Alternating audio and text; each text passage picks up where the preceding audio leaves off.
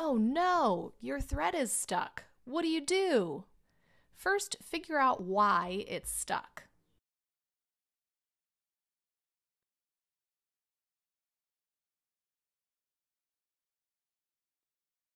Is it caught on something?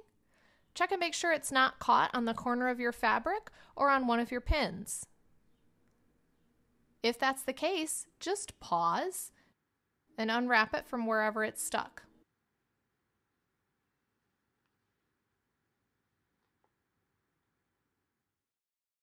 The trickier thing is if your thread is wrapped around the edge of your fabric.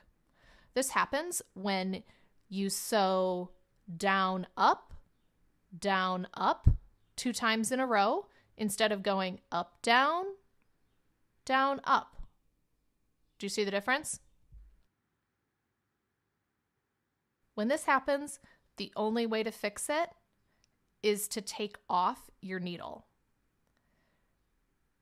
Once you've taken off your needle, it's pretty easy. You can just pull that loop loose.